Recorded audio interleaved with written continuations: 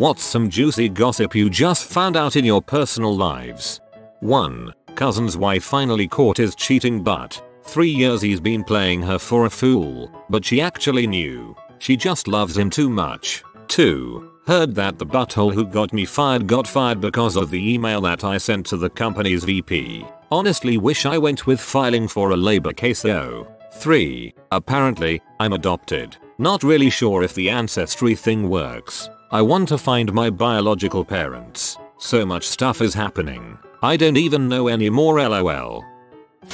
My sister is pregnant with her third child. Third guy. The first father, V, is awesome he has custody of both their child and her second. No biological relationship to him. The second baby daddy has apparently been threatening my sister and V after learning of the third child and that V took her in. V and my sister still have a functional platonic relationship at this point, and due to fear of reproach from the second, and maybe the third, V has taken both kids, my pregnant sister, and his own so with him out of state to make sure there's no reproach from 2 or 3. V is one of my favorite humans. He treats the second child like his own, despite no longer being in a romantic relationship with my sister, since 2010. Dude is as good as they come, in my opinion.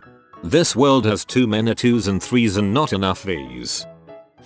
That my brother asked my mom for a $1,000 for rent. She gave him $1,400 so he could also pay back a loan. Then he turned around and also asked my dad for $1,000 for rent which he also gave him. He then turned around and used the money to buy tickets to Burning Man. My parents aren't going to lend out any more money without talking to each other first.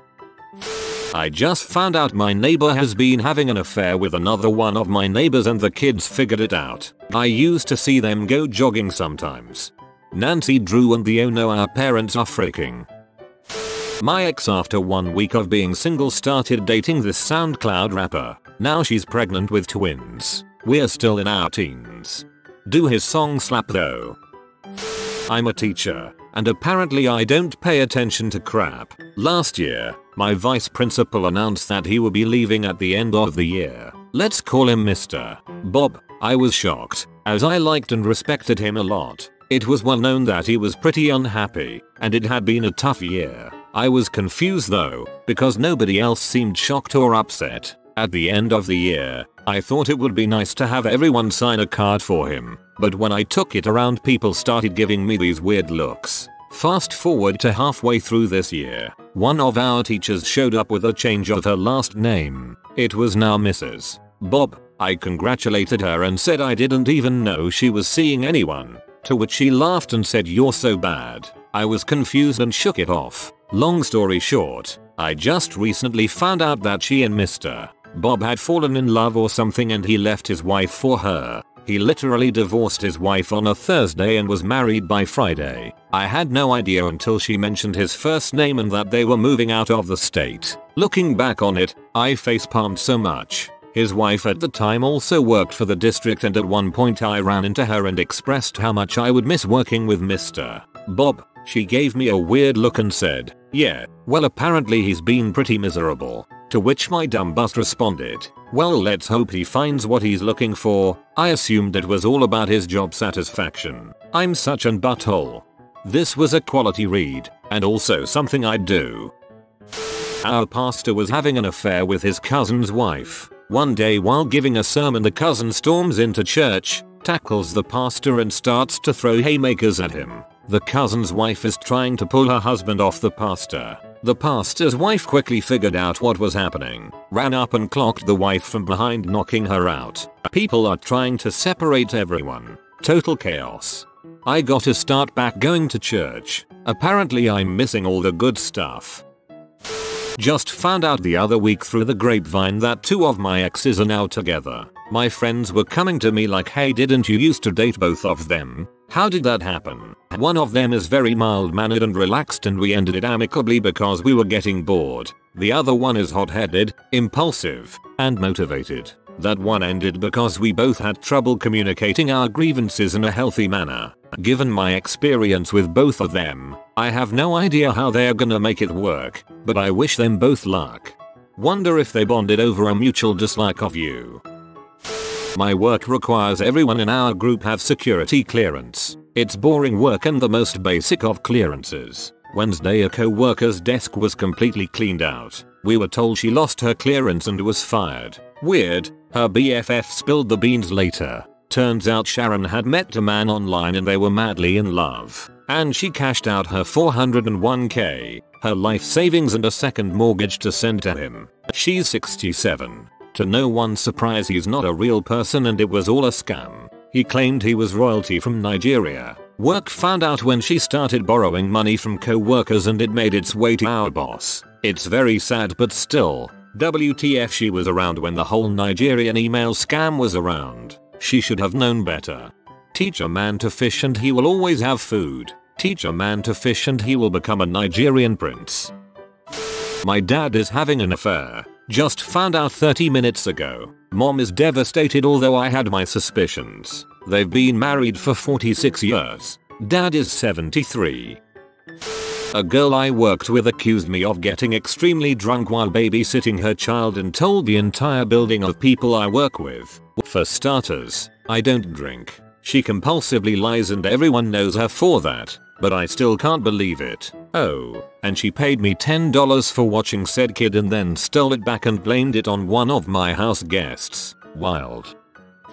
When an ex and I broke up a little over 4 years ago, it was bad. We were both getting clean and on methadone. The things that were said. November of 17. Ex asked a mutual friend if he and his girlfriend could come stay with me since they were homeless. I'm an idiot. I can't say no. I was homeless for 10 or so years, so I know how bad it can be. When I kicked them out, they had stolen so much from me. I didn't have a lot to begin with. The B even stole a bunch of my underwear. I literally just found out about an hour ago that she is in jail for possession. Got caught with 40 ounces of liquid heroin. Karma baby, karma. A year ago my family member, 26, discovered that his fiancée, 29 of 7 years, who he has two children with had been having an affair with his younger brother, who just turned 18. His brother was living in his house rent free at the time as well, so his fiancée left him for his brother and had a fling with him for a couple months. The younger brother is basically homeless now, jumping from friend to friend to crash at their houses, while working at a job that he makes minimum wage at, $7.25 while she is still living under her ex-fiance's roof. She then decided she wanted to work thing out with her ex-fiance so they got back together and decided to reconcile the relationship which left the younger brother furious. Shortly after that, she finds out she is pregnant but does not know which brother is the father. Her fiance said he would raise the baby as his own even if it was not his so she decides to keep the baby. This makes the younger brother more furious because she aborted the child before this baby that she knew was the younger brother's. So the younger brother verbally attacks her for aborting that child and keeping this one because there is a chance it is her fiance's. She is unemployed during this time, so her fiance is paying for all of the expenses. 9 months later, still unemployed, she has the baby and it ends up being the younger brother's child and they all try to do co-parenting. The baby is 3 months old now and my family member's fiancé left him for his younger brother again. After all this, we tried to hang out with him and our other friends at our house to get his mind off the entire situation and he invited her over. Did not ask us if it was okay or even mention it. She just showed up knowing dang well everyone at our house does not want her there. He told us that if he is okay with hanging out with her then we should also be okay with hanging out with her. My cousin has been together with his wife for 14 years and has had a girlfriend for just as long. Neither of them knew about the other. He got caught because of an image on Facebook. His wife's sister posted a family picture which my cousin was in and got recognized by his girlfriend's sister's acquaintance. He got away with that for 14 years. I have a co-worker I'll call Jess, who always talks about her kids in detail and asks for favors because of her kids, i.e. picking up shifts, asking for rides, etc. One of our other co-workers son goes to the same bar as said girl. She doesn't know who he is, and one night was spilling her gut about how she always takes advantage of her co-workers and that she doesn't even have kids. She doesn't know that we know. It would be a shame if all of her co-workers suddenly had kids and couldn't cover for her anymore. One of my workmates found another guy we work with on Tinder, but he's married with a 3 year old at home, and his bio and photos said nothing about any of that. My ex-wife and I finalized our divorce last June. She's giving birth in a few weeks with a guy she was cheating on me with. If it was anyone else I wouldn't care as much, but since it's this guy, it hurts. Oh, OLG email invited me to buy them gifts off of their baby registry, so I'm trying to think of the most petty item I could get, though I know I shouldn't show I give a crap. Buy them a paternity test, it will get in new guy's head. My gran has a brother who I've never heard of nor met, who lives in London. They lost all contact over 30 years ago after my granddad died, and he spent the money my grand sent him for transport up to Scotland for the funeral on drugs. My mum told me this over Facebook last week. My two friends just found out they have the same sugar daddy. They had both been under the impression that they were exclusive with him. Man, to be rich enough to sugar daddy for two girls at once. Truly the American dream. Not recently but the biggest is that my aunt got arrested a while back for embezzlement. She didn't do any jail time I don't think just has to pay it back. This isn't much of a surprise though because after the roof of the blockbuster she managed collapsed she stole all the candy lol. Well my dog acts like she doesn't like our new cat but I caught them playing last night and as soon as she noticed me she runs over to me pretending she wasn't playing. Scandal. I have no life. This was the peak of my weekend. I have a cat that hated an ex-boyfriend. She would fling herself on the ground and cry out like he had pushed her. I watched her do this as he walked by 10 feet away. He would claim innocence and I wasn't sure how to take it until I saw her do it to him. So funny, but I took it as a sign that the cat didn't like him. So. An ex-friend of mine from high school is now in the middle of the second divorce. Apparently it's because she cheated on her second husband with her now current boyfriend. This is the second time she's cheated on her husband and I'm curious if she'll marry the current boyfriend and then cheat on him. My co-worker makes $10 an hour works part-time and pays for her living, still married, boyfriend's rent and child support cause he's broke. She just found his bank receipt showing $17k in his checking account. Commenting from my other account. A couple that we have been friends with for a few years now, both very normal people with vanilla jobs, took a trip overseas that was supposed to last a week. Not unusual for any of our group of friends. No one had heard from them for close to a month until we found out they've been arrested on the other side of the fricking earth trying to smuggle out close to one fricking million dollars for an international drug cartel out of the country they were visiting. When we heard the news we were just sitting there quietly in disbelief for about 5 minutes. My buddy got so drunk at a party, he whipped his dong out in the living room. This is juicy because he's in his mid 30s, has two kids and a great job. His wife told him he did it the next day, cause he sure as crap didn't remember, and nearly everyone present was a co-worker of ours. My stepbrother started dating this girl a short while ago. They were invited to my wedding, but then his dad basically uninvited him to the wedding because it turns out the girl is a prostitute and my stepbrother will bring her to clients. So he is kind of in pimp territory. Also she makes P movies, and she's pregnant, and we assume it is my stepbrother's baby. My family is quite normal otherwise. This is like mega gossip for my family. 1. I am not comfortable giving out her P name, but she is in the BBW category. 2. As far as him being a pimp, she was doing this before they met. He is still technically a pimp, doing deliveries and such, but this isn't some human trafficking thing, according to the information I have. 3. They found out by someone on my stepdad's side of the family stumbling onto her P online. My stepbrother is in a few of the videos. The reason my mother was also P was because she got them a hotel room for the night before the wedding, and the location change for that date was noted on her calendar. Basically my mom was worried the police would think she was a pimp if my stepbrother and his GF got in trouble with the police, considering she paid for the room on her credit card. The more I read the wilder this becomes. Some time ago some girl jokingly said she wants her BF to get her pregnant or else he will leave her. Guess who's unexpectedly pregnant? Best advice for these girls, fricking won't make him yours, and a baby won't make him stay.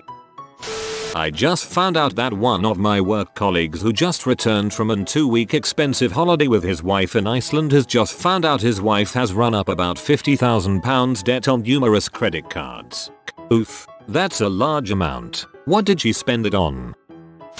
One of my female friends, who looks like a slightly classier version of Courtney Stodden, confessed to me that she enjoys the thought of too hot, shirtless men fighting over her. She said she is considering goading her boyfriend into fighting some random dude who keeps slipping into her DMs. Just tell her to watch MMA with the sound off. My grandmother told me a couple months ago that around the time of her divorce from my biological grandfather, another lady in their small town had a baby. When grandma finally saw the baby, after friends suspiciously tried to keep her from seeing it, it looked exactly like her soon to be ex-husband. I was the first person to be told about this. My mom now knows, but my aunts and uncles have no idea they have another half sister running around somewhere. For those that have suggested trying to find her, my brother took a DNA ancestry test last year. I'll ask him about the family tree part and what he found. Regarding telling the other family members, it's certainly not my place. The problem is that biological grandpa, who will be BG from now on, was a piece of crap. He was abusive, drank himself to death, and abandoned my mom. The other relatives want to just move on. He isn't talked about anymore. Grandma is trying to respect that, especially my uncle, who didn't speak to her for a long while because he felt like she was just trying to turn the family against BG. If they accidentally find out through a DNA test, it truthfully would probably be less drama that way. Last note, the reason baby was easily identifiable aside from suspicious behavior was largely due to BG being a redhead. There weren't too many in town, apparently. Funny enough, something similar happened where my grandpa cheated on my grandma. However, the woman that my grandpa had cheated with didn't want their baby, so my grandma adopted her. Both grandparents are dead, but bless my grandma for including her as part of the family. The baby is now one of my cooler aunts. Life is weird. My friend, who shall remain unnamed, has been trying to get with his stepsister's boyfriend. Well not so much trying to get as trying to get in a relationship with. Cause the video he sent me of stepsister's boyfriend bent over told me he Al-Rafi got him.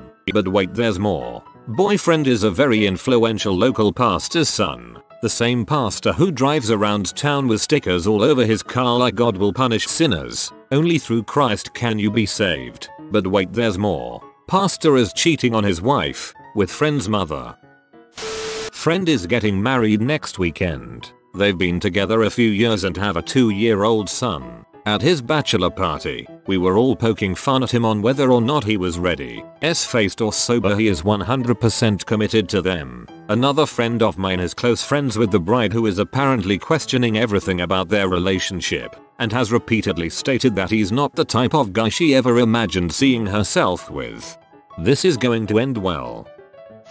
Some girl in our year at school posted on Facebook the other day how her boyfriend had supposedly cheated on her. They had a full blown argument in the comments just on Facebook for everyone to see. Yesterday she posted a picture of some keys tagging her boyfriend in it saying just bought our first house together.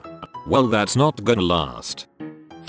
My young, hippie chick, sweet, neighbor has an alcoholic BF. Middle of the night I heard her screaming for help and I immediately knocked on their door. Young dude wasn't happy to see me. Silly words exchanged and I managed to get her into my home. Sometimes we need a timeout, regardless of age, to take a breath or two. A few hours later she went home. Turns out the BF's mum is M-head and broke into a neighbor's home madness ensued, and before her arrest she convinced her son to share her meds. They don't know what he took but it didn't react well with him. What kind of mother does that to her son? Now she is awaiting him to bail her out. I was blunt with him and said he needed to focus on himself and his life. Whoa, good for you for actually responding to a call for help. The world needs more people that care enough about other safety to overcome the awkwardness of intervening.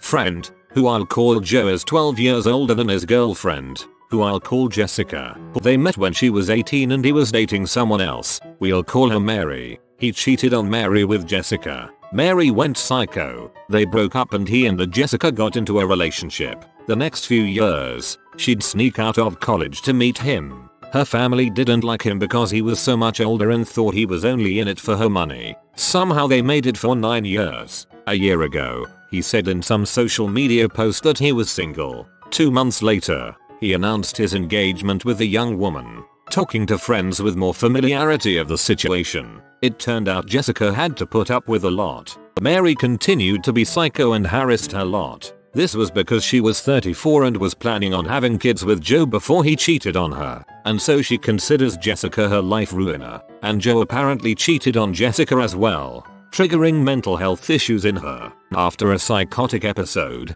they broke up, but then he wanted to settle down and have kids, so he proposed to Jessica, and she accepted. Now they are planning a big butt wedding. I can't wait for the shit show it's going to be.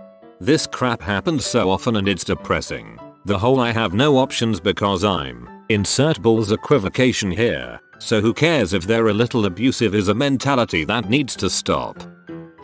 Apparently for years my parents have told my teachers I have a learning disability. I didn't know I had learning disability. I don't think I have a learning disability. I asked them why and they said it takes about $1,500 off the cost of my university tuition from some government grant so I guess I have a learning disability. Update. I asked my parents more questions about this and I apparently got tested when I was young and have a legitimate learning disability diagnosis. My parents aren't committing fraud, they knew all along that I was diagnosed and I just recently found out about it. If you are new to the channel, you can subscribe. I publish new videos every day. Until then, check another video.